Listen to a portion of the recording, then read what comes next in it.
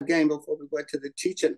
Um, the, the people in Florida uh, are in such a um, dire place. Uh, the tornadoes and the hurricane, and we thank God that the hurricane has decreased from a category five, they say now to a category three. So I know that you've been praying for them. I've been praying for them, and we're going to continue uh, to pray that the devastation is not as extreme as they are predicting or as they had thought that it would be. I'm telling you, prayer does work and prayer can change things. So we're just standing in prayer, we're interceding for them. We're praying for those that, for whatever reason, decided not to leave um, their homes or whatever, that they are safe. You know, it reminds me, just as in the the, the day of Noah, and I was speaking to someone about this uh, uh, on the other day, how that just as it was in the days of Noah, uh, mute your mic, please. Uh, the people did not heed the warnings that were given to them. Noah preached for 120 uh, years. He was called the preacher of righteousness, warning the people, telling them to get right, that judgment was coming, that it was going to rain, but they would not hear him. And, and you know, the same thing is happening today. The voice of God is speaking and he's speaking to us. And I, we've been talking about how that God uh, have us in seasons and how that we are in a season when God, by but because He loves us and because He's merciful unto us, He He gives us warnings and He gives us time to actually um, examine ourselves or to prevent us from you know entering into the the destruction and the wrath that comes with being disobedient. So the same things are happening over and over again. You know, Solomon said there's nothing new under the sun. Everything that we see, it has happened before. Uh, it happened with John the Baptist. John the Baptist came and he preached uh, and prepared the way for our Lord and Savior Jesus Christ. But the people did not hear him, they did not believe him.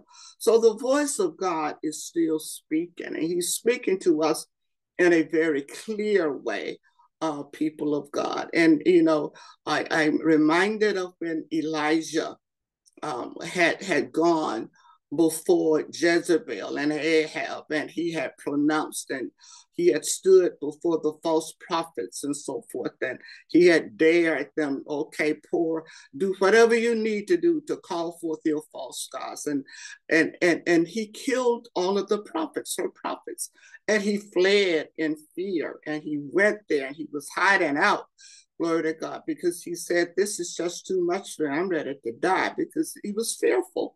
But he was listening and waiting for the voice of God. And God did not speak in that loud voice and the thunder and the cracking of the mountain and all of that in the way that you sometimes expect him to speak. But God, right now, is speaking in a still, quiet voice. He's sending us his word. He's sending, sending us his word to heal us and to deliver us out of our destruction. So we have been talking about uh, prayer. And, and we've been talking about uh, praying the will of God. Are we praying the correct prayer? Are we praying the prayers that uh, is actually in tune with what the Father wants us to pray and what He is doing in this end time? And so on last Sabbath, um, we ministered, it's a heart, H E A R T thing. And we're going to view, uh, play that on uh, the radio ministry on tomorrow because I want the people on radio ministry to hear it because it's a powerful, powerful message. And this is what the Father wants us, people of God. He wants us to hear what He is saying so that when we are praying, that our prayers are fruitful. And our prayers are only going to be fruitful if we are praying the will of God. Amen. How are we going to pray? The will of God? How are we going to know uh, the will of God, if we have a relationship with Him, and if we allow the Holy Spirit uh, to search our hearts, as the Word of God tells us in Romans, the eighth chapter, uh, to pray the perfect will of the Father. And, you know, it's just time out for us as born again believers. The Father has given us such power and, and such um, authority. And He's given us that power and, and His authority through His Word uh, by using his name and by speaking the word of God.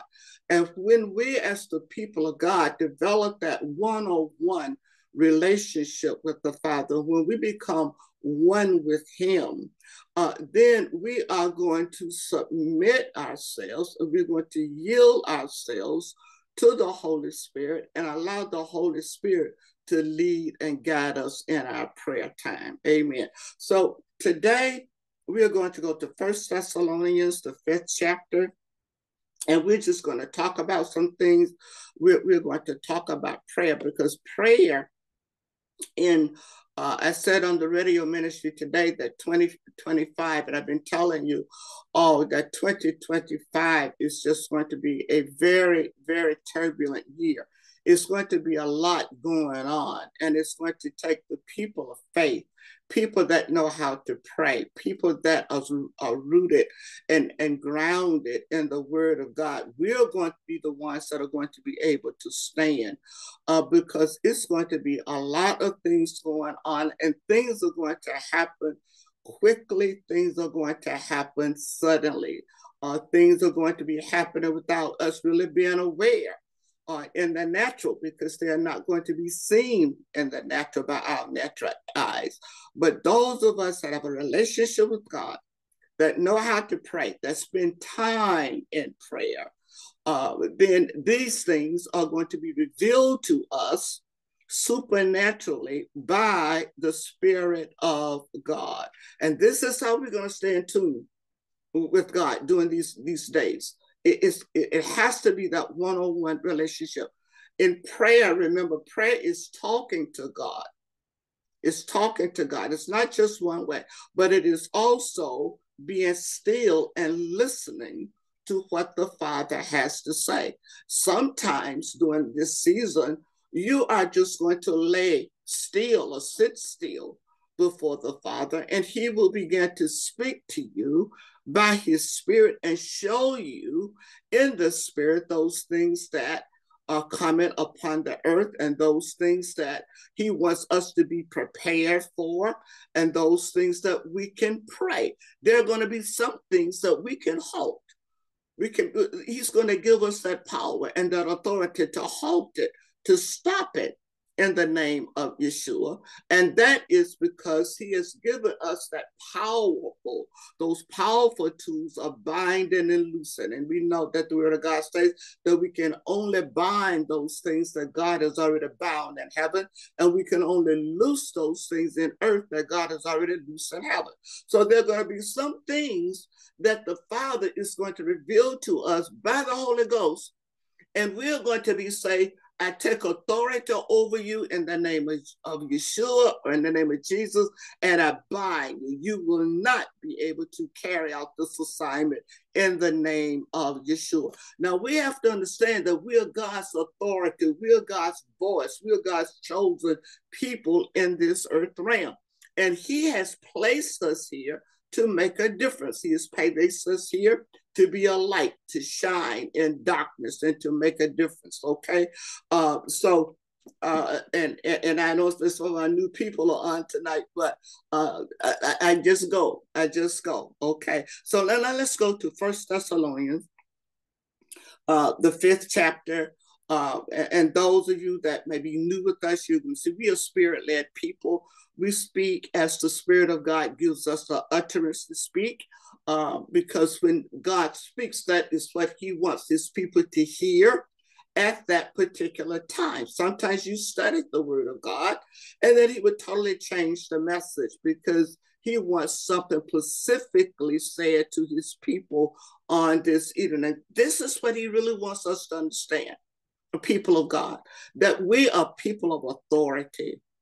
We are not helpless people. We are not defeated people. We are victorious people. God called us and chose us, and the blood of Jesus washed us and cleansed us, and we're seated in the, on the right hand side of the Father in the throne in Christ Jesus in that place of power and authority. And he has given us that power and authority to rule and reign in this earth realm. And we have got to execute that. Now, those of you that are new, you need to go on YouTube and you need to listen to some messages that are already there that's going to bring you right in alignment with what I'm talking about tonight. Okay, go on YouTube. Uh, the messages are there. I, I am long winded. I, I, I, teach a long time.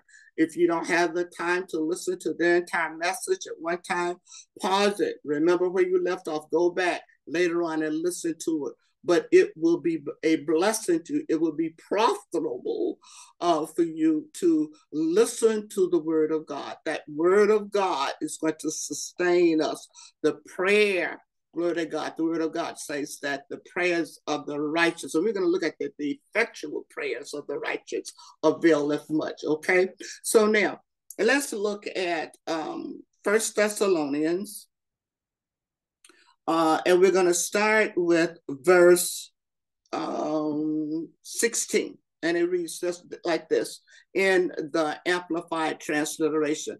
The Word of God says, and this is Paul talking to the, the, the church of Thessalonica. And, and he is really encouraging them. They were going through some difficult times, and the Apostle Paul was always said to encourage the people to give them strength so that they would be able to endure.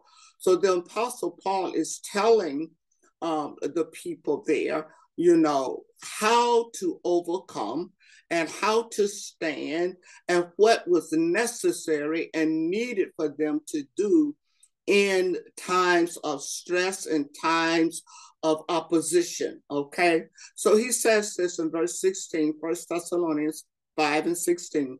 Rejoice. This is the first thing um, that the, he was telling the people says, I want you to rejoice. He says, you must rejoice. Because see, if we look at um, the situations and the things, the circumstances that are happening in this world and during this time, it was still our joy. It was still our joy. So we cannot be moved by what we see. We cannot be moved by what we hear if it is contrary to the will and the purpose of God. How are we going to know whether or not it's the, uh, uh, uh, in connection with the will of God? It's because we're in prayer. And He's going to let us know. We're going to be able to sense by the Spirit of God this is God, this is not God. I have the authority uh, that God has given me to do something about this situations. Remember, we are kings in this earth realm. We are priests of the Most High God. We are not the high priest, Jesus Christ is, but we are priests of God. Amen. He has given us that place and, and that voice of authority to speak in the name of Jesus. But we cannot just speak anything. We must speak what we know and we hear the Father telling us to speak. And He's going to reveal it to us by His word at that particular time. Now, you can be speaking a word, but it may not be applicable for that particular time. That is why it's important that you pray. That you stay in connection so that you will know exactly what to speak at any particular time. Example, Moses, when he was with the children in the wilderness, God told him at one time to, to, to speak to the rock. And then another time he said, What? To smite her. Well, he had to hear. He had to hear at that particular time and receive specific instruction from the Father as to what he was to do. So during this particular time, see, Moses didn't have the Holy Spirit as we have it. Glory to God. The Holy Spirit was in him, but he did not have it to the measure that we do. But we have the Spirit of God dwelling on the inside, on the inside of us, and we have his word. Okay. So in any particular situation, by the Spirit of God, you are going to know the appropriate prayer to pray. The appropriate prayer to pray at any given time. Okay. So we have to rejoice during any situation. And we're going to get to some things. Just hold on. Rejoice always and delight in your faith. You have to delight in your faith. You have to believe and know that we are men and women of God and that we are rooted and grounded in the truth of God's word. Okay. Be unceasing and persistent in prayer in every situation. Listen to this. I'm going to read that again. Be unceasing and persistent in prayer in every situation. It doesn't matter. No matter what the circumstances are, no matter what the circumstances, you may be praying something and you think that you're praying the word of God. Well, the circumstances that you are, are actually addressing, they're, they're not really being addressed by God. Why? It is because that's not the will of God. That is not the proper prayer at that particular time. We're going to get into something. Hold on. Be thankful and continually give thanks to God, for this is the will of God for you in Christ Jesus. Oh my goodness. The Apostle Paul says, regardless of the circumstance, how you pray, regardless as to what the answer is, irregardless as to what the outcome is, that we are to be thankful because that's God's will concerning that particular situation. You see, that's why oftentimes we become overwhelmed, uh, we become um, um, faint hearted because we're praying, but our circumstances are not changing. They're not changing. It is because whatever you're praying, if it's not the correct prayer at that time, and if it's not God's will for you, or your God's will for you concerning that circumstance, then it's not going to change. And if it's not going to change, the Apostle Paul says, still rejoice. Because if your circumstance don't change, God knows better than you. He knows better than I. He knows what is going to meet us in the future. So he is going to answer, he's going to move according to his will and not according to prayers that we are praying that is not in alignment, that is not in agreement with the will of the Father. So, whatever the circumstance is, God is working it out for your good. He, it, it, it, might not be. My goodness, I remember some prayers when I was new in in in uh, the kingdom, and some prayers I was praying. You know, immature, not uh, rightly dividing the word of God, praying some things, but it didn't work out the way that I was praying. And today, I thank God and I rejoice in that that God did not answer or honor those circumstances that I was asking, begging, making a petition known to him to answer. But he said no. At that particular time, I didn't understand it. But today, as a father, I thank you, you say. So there are things that we pray, and we pray in all sincerity from our, our our level of understanding, our level of faith, our level of having a relationship with God. But God says, no, no, that, that is not my will for you. And I love you too much to give that to you, you see.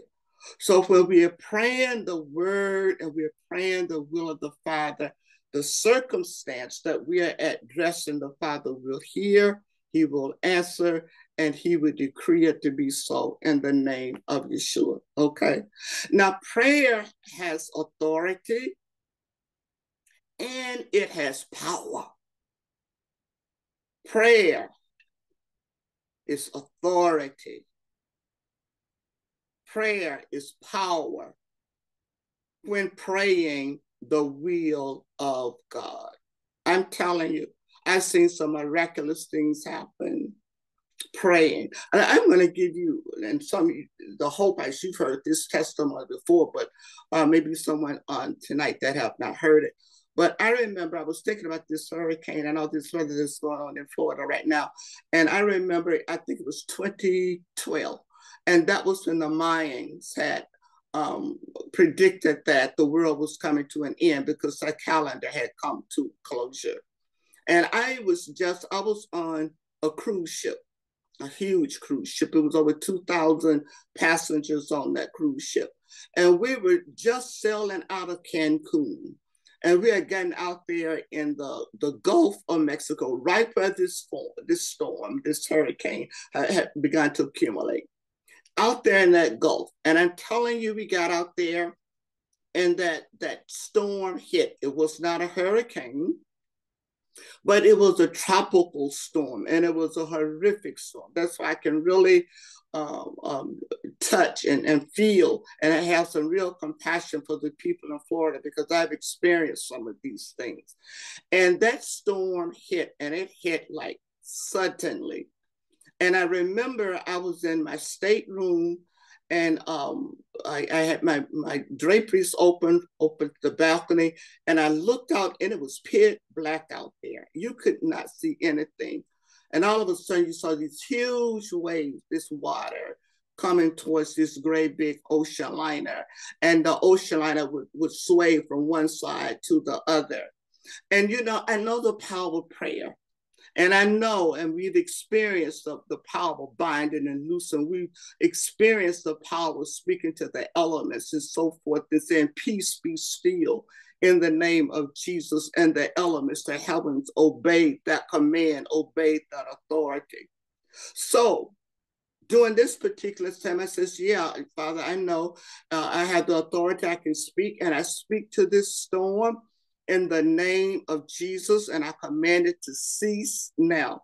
And the Holy Spirit spoke to me very, very, very quietly in that still, quiet, quiet voice. And he said, No, you will not rebuke this storm. I am going to show you and teach you that, regardless as to what situation, in any circumstance that will ever occur in your life, I have the power and the authority to keep you safe and I closed my draperies and I got in the bed. I prayed and I went to sleep. And when I I slept through the storm, I slept all the way through the storm. When I woke up, the cruise ship had already docked. And I says, God, you are so awesome. What am I saying? I was praying. I was using my authority that I know that God had given me. I was using the authority and speaking the word of God. I was speaking the power of God, and I was speaking it with faith. I was speaking it with confidence because I've seen the word work many times. But this time, God said, No, this is not the prayer. This is not the prayer. It's not my will, hallelujah, for this storm to cease at your command. I am taking you to another level of faith, Frankie and letting you know I don't care what circumstance you're in, it might not work out the way that you wanted. That prayer that you're praying, that power and that authority that you are speaking forth, it might not calm the situation, but I want you to know that I can deliver you. I have authority over everything. And I say, God said, go to sleep. And I went to sleep and I rise safely. So you see how we can speak and we can use our authority. We can speak with power, but is it at the proper time? Is that the will of God at that particular time? God wanted to show me another level of faith. He wanted to show me another level of his power. He wanted to show me that in the midst of a tropical storm with waves coming at that ship, making it way sway back and forth, that he still was in control. Glory to God. He was teaching me that regardless at the situation that I'm in, regardless as to how dismal it may look, that I have safety and I'm secure in him. I'm telling you, it took me to another level of faith in the name of Jesus. And that's what we're, we're really pushing, praying the will of the Father. Father, is this your will? What is your will for me in this situation? During this time and in the times to come, We've got to stop praying those Alice in Wonderland prayers. We got to stop praying those prayers that we're daydreaming about being multimillionaires and having all this money and all of these fab, this fabulous lifestyle and so forth. We, we got to stop praying those prayers. The Father says that He knows what we have need of. Amen. So He wants us to get into the Spirit because this is how we're going to survive. This is the only way that we are going to be uh, able to survive even before this year's out. We have a few more months in this year. This year isn't over yet. 25 is rapidly approaching. And God is saying, learn how to pray. Prayer. Learn how to pray my will. This is what's going to give you that confidence. This is what's going to give you security. This is what's going to keep you safe. This is what's going to keep your mind in perfect peace. Because when you're praying my will, you have peace. And the things that are around you, there are going to be things around us happening, but we are going to have peace because our mind is stayed on the Father because we are praying his will. And in the will of God, when we pray, there's security, there's safety, there's provision, there's healing, there's any and everything that you will ever need or desire. Okay. So we're to pray authority with that uh, use that authority and that a power to pray the will of God, not attempt to use his power and authority to pray uh, our own selfish prayers, to pray our own selfish, um, greedy, lustful, sensual desires. God does not honor that. We can't manipulate God. You can't control him. God says, This is what I will for you, and this is the way it is, and this is the way it is going to be. And when you begin to say, Yes, Father, I rest in you, I trust in you, whatever circumstance is going on in my life right now, by faith, I receive, I receive what it is that you say because I know that I can trust you and you have nothing but love and peace towards me. Okay. So when we look at the word will, when we say um, God's will, and we look at this word will, you can find that in G2307 and it is a determination. What is a will? A will is God's determination. God's will is whatever He determines it to be. It's His decision. Amen. It is God's choice. What is God's will? It's His choice. He chooses what will be for you. He chooses, not you, in the name of Yeshua. He chooses our, our life has already been ordered by God. If we are in the kingdom, I'm not talking about people in the world. People in the world do their own thing, they make their own decisions, they make things happen for them in an illegal way that is not um, acceptant to God. They're unrighteous, okay? But we're in the kingdom, we're the people of God. So there's a different set of rules and regulations that we must live by. We must live by, and we've got to accept this. And this is why so many people are tormented, they're troubled right now. They're angry and they're bitter because they're angry because they don't want to accept God's will for their life. They don't want to accept God's purpose and plan for their life.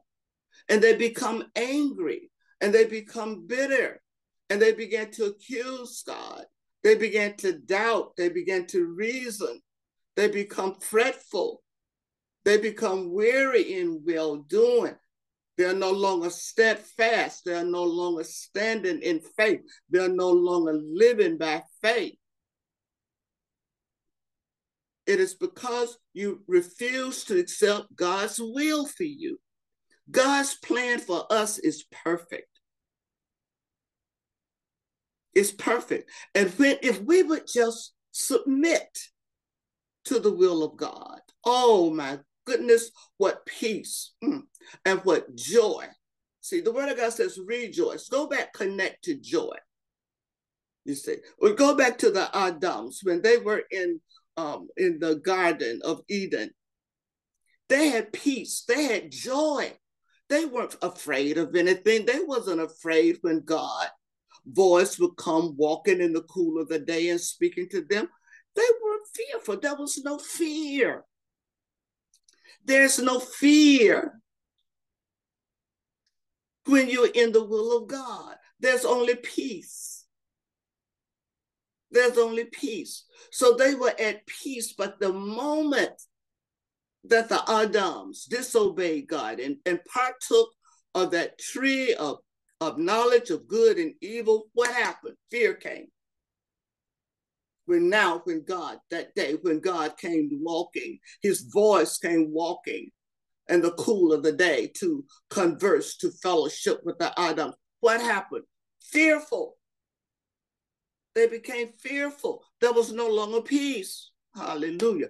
Because they had disobeyed.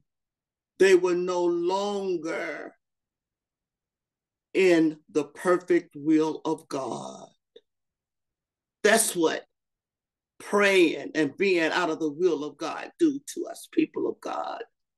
It destroys your peace and it brings you to that place of fear, doubt, unbelief, trembling, worry, angry, bitter, jealous hearted, envious, contentious, argumentative.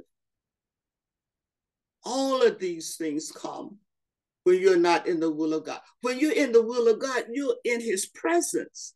His Spirit is ruling and abiding in you. Glory to God. His will, His determination for you. God has already made a choice for your life. and the only way you're going to change it is that you get in your will. Because you're not going to change God's plan. It's settled. He says, My word is forever settled in heaven. Heaven and earth shall pass away, but not my word. God's word is not going to change. His choice for your life is not going to change. So if we're going to have peace, the apostle Paul says, and the peace of God, which surpasseth all knowledge and understanding, shall keep my mind, you see. He says, irregardless of what's going on in my life, I have peace because I know I'm in the will of God. I know that I'm an apostle to the Gentile. I, I'm, I'm, I'm doing his will, I'm doing his word. I, I've been in prison, I've been beaten, uh, all of these things have happened to me. I've been bit by a snake. All of these things have happened to me, but I have peace because I'm in the will of God. So that's why people don't understand why you can have joy and you can rejoice when you're going through tribulation, trials, and circumstances, and you will. It is because you know you're in the will of God and that it will pass. It's only for a season. There's something that God is working in you, developing in you, develop, maturing you, keeping us from being spoiled brats. That's what God's will will do for you. It's God's determination, His choice. God's will is His purpose for you. I'm talking about kingdom people, blood washed people, people whose names is written in the Lamb's Book of Life. I'm talking about you and to you. God's will is his decree. God has already decreed it. He has spoken it into existence. Everything that we see, the heavens, the earth, the sea, the fish, the birds, it was decreed by God. The sun, the, the illumination, the sun, the moon, the stars, the planets. God decreed it to be so. It was his will for it to be there. It was his will for it to manifest. He spoke it into existence. And everything that God has already spoken into existence, He decreed it to be so, and it still is so. The moon is still the moon. The sun is still the sun. The planets are still the planets. The stars are still the stars. The birds are still the birds. Because he decreed it, because his word says it's not going to change. A bird will not become a cow. A fish will not become a horse. I decreed that a fish is a fish. You're going to swim in the water. He decreed it. You take a fish out of water, it dies because it's out of the will of God.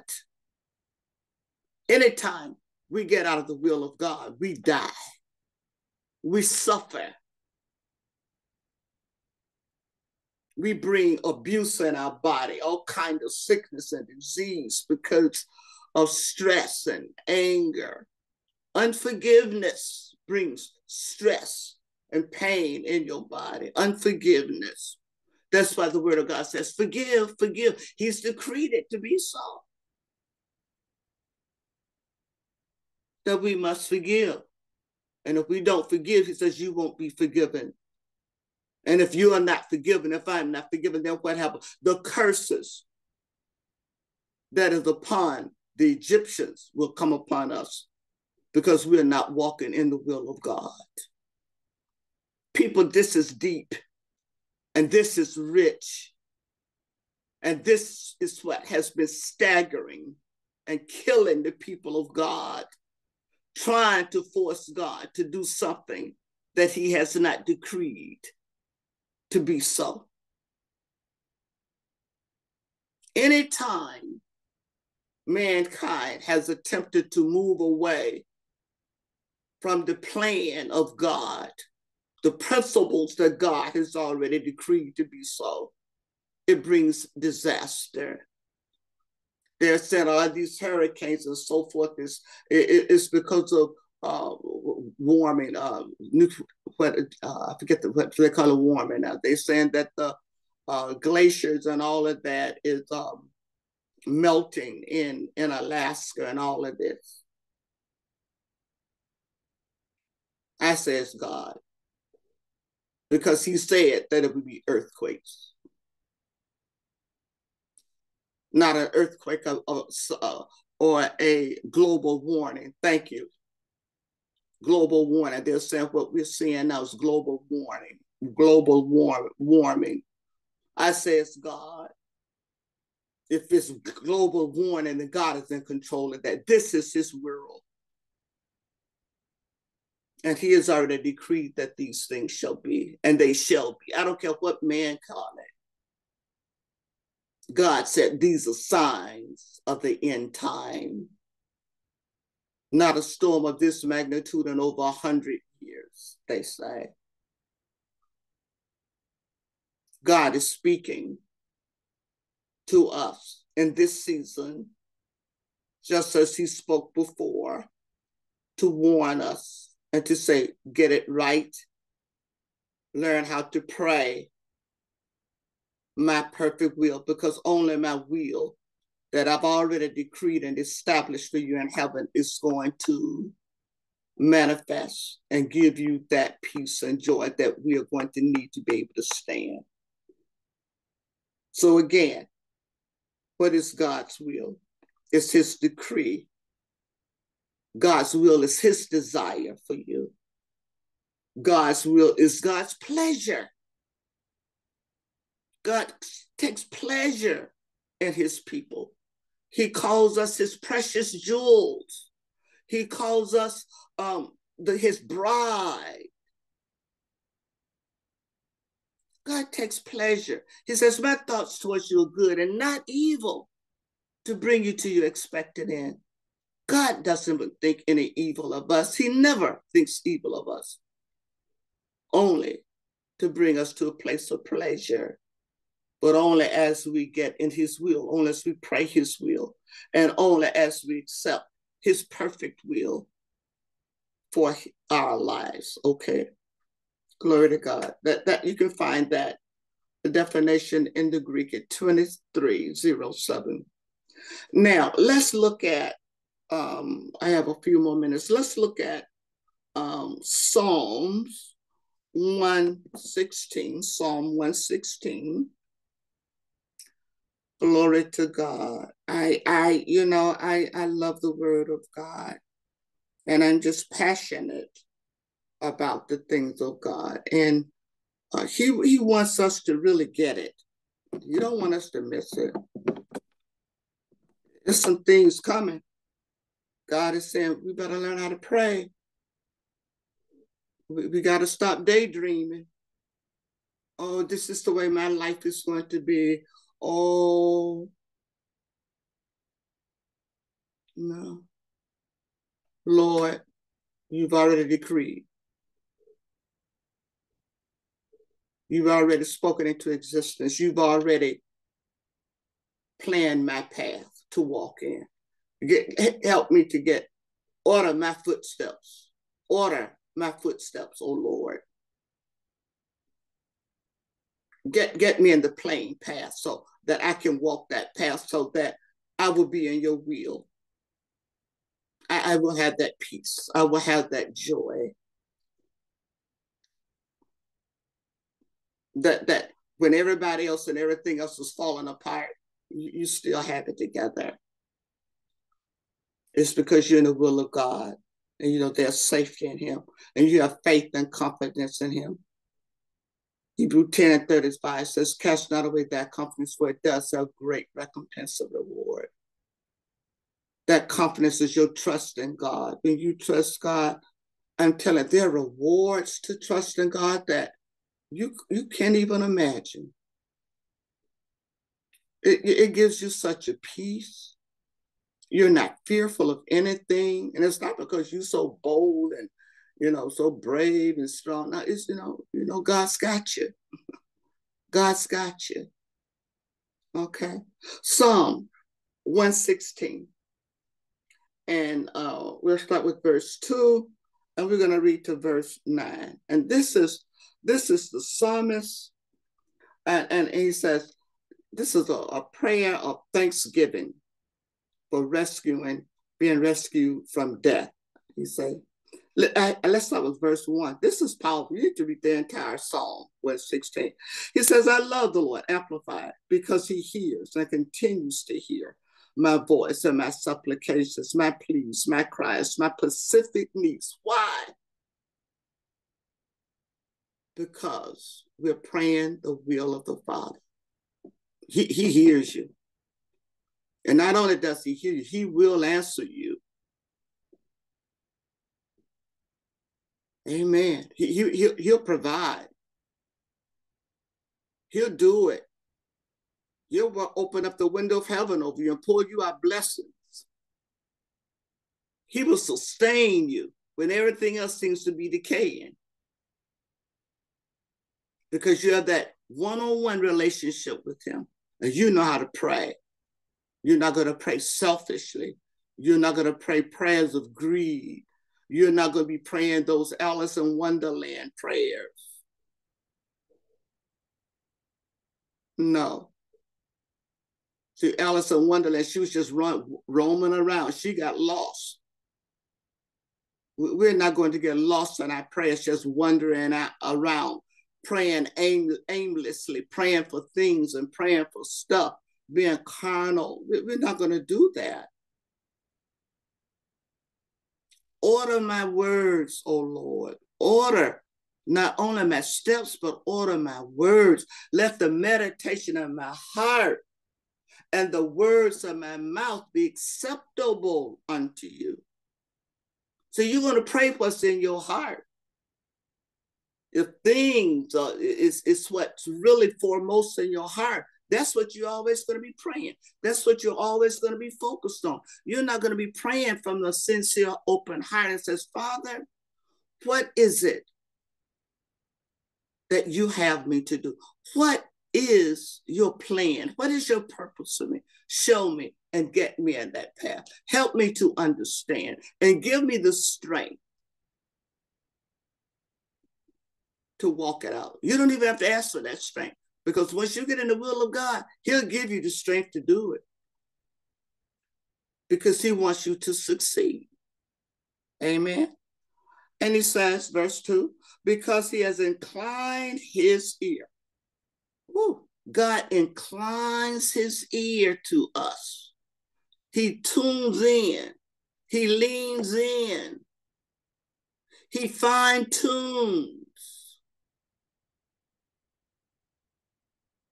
when we're praying his will because he has inclined his ear to me. Therefore, I will call on him as long as I live. I know that the Father hears me because he knows my desire. He knows my heart. He knows I want to walk in his will. And I know that he will hear me when I call. Amen. He always heard Jesus when Jesus came into his presence, except that one time. The Father always, the Father and Jesus Christ, boy, they were they, they were connected. They, they were one-on-one in this earth realm. Jesus says, I only do the things I see the Father do, only speak what I hear the Father say. He was in the Father's will, and he was always successful. Everything that Jesus did, it was done in perfection, it was done in excellence, it was supernatural. Mm. The will of God produces the supernatural ability in your life. It, it changes your position. You actually begin to be seated in that heavenly places with Christ Jesus. And you know it and you act like it. Jesus always said with the Father, um, he said, Lo, I come in the volume of the book, not to do my will, Father, but to do your. God said, All right, you, uh, you got it. Whatever you ask, son, I, I hear you. I incline my ear to hear you. And I'm going to do it because you want to do my will. There was only one time that the Father, and he heard Jesus saying, he heard it. God hears everything. But Jesus was in Gethsemane, that, that place of press, the wine press when his flesh was being pressed out of him. See, all of us have to go through a place where our flesh gets, gets dead and gets pushed out of us. There was only one time when the Father ignored Jesus. He ignored him. He heard him. Father, take this cup. If it be that we will, remove this cup from it. Father didn't say a word because you know why? Because the Father knew that Jesus knew what his will was before he says, Prepare me a body, send me, I'll go. Jesus knew what he was going to come down here to do to fulfill the plan and purpose of God. So when he prayed that prayer, the Father just said, Hey, it's left up to you. See, see, God brings us to a place and a position where he says, it's left up to you. You can obey me if you want to, or you can not obey me. All of us come to that place of decision. When we have to make up our mind, when we're going to say, Father, I submit. Uh, you know, it, it's, it's a rough road. Jesus says, I have a baptism to be baptized with. He knew it. But he submitted. So, so, so God in the Garden of Gethsemane says, okay, Jesus, my son, my Yachid, my only begotten son, my first son, it's left up to you. Right now, you can decide. Right now, you can make a decision. Right now, the Father said to someone, right now, you can make a decision. Am I going to walk in your will? Because I know that your will is going to be some rough places. It's going to be some crooks in the road. It's going to be uh, some, some, some hard times, some difficult times. And God was saying, okay, Jesus, what you going to do? Jesus submitted. That's when he died, really. He see on, on the cross, the word God didn't say Jesus died on the cross. He gave up the ghost. he died in Gethsemane when he submitted to the will of the Father. When we submit to the will of the Father, we die to our own plan, our own will, our own way, our own thoughts. It's nevertheless, nevertheless, not I, but it's Christ Jesus that lives in me. That's what the Apostle Paul says.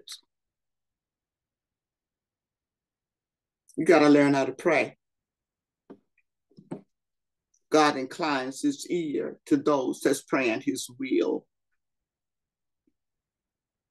And he says, Therefore, I will call on him as long as I live. The cords and sorrows of death income, uh, passed me, and the terrors of Sheol came upon me. I found distress and sorrow when I call on the name of the Lord. Oh Lord, please save my life. Gracious is the Lord and consistently righteous. Yes, your God is compassionate.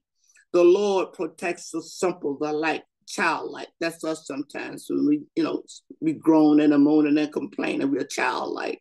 He protects us. I was brought low and humbled and discouraged, and he saved me. Return to your rest, O oh my soul. Come on, soul. What's wrong with you? Return to your rest, O soul. Rejoice. That's what Paul was saying. Rejoice consistently and, uh, uh, uh, and consistently in the Lord. Rejoice. He said, Return, my soul.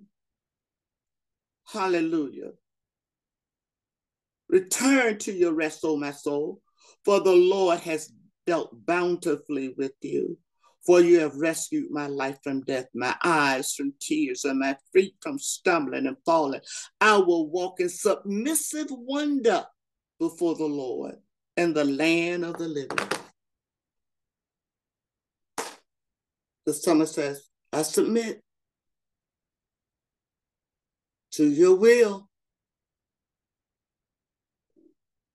Let your soul be at rest.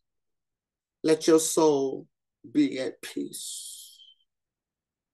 And I want to close here tonight because I'm not nearly finished with But we come back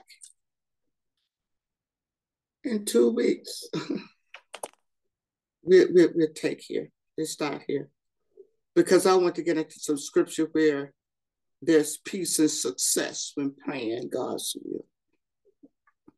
You want peace? You want success? Then pray God's will. You want joy?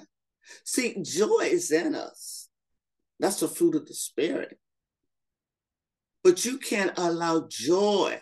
The Word of God says that, you know, that that there's a well to pull up joy from the well of salvation.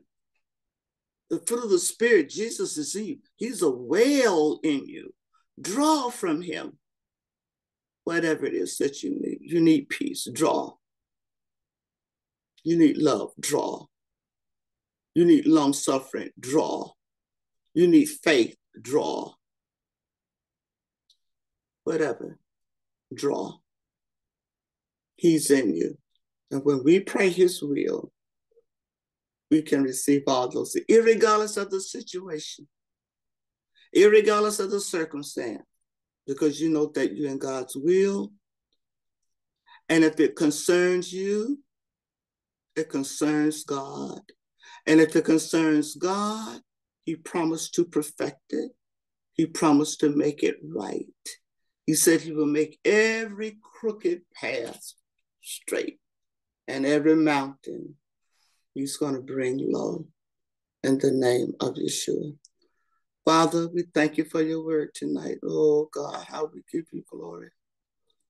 How we honor you, how you're so special and you're so sweet and you're so kind, you're so gracious to us, and you're so long suffering towards us, your children.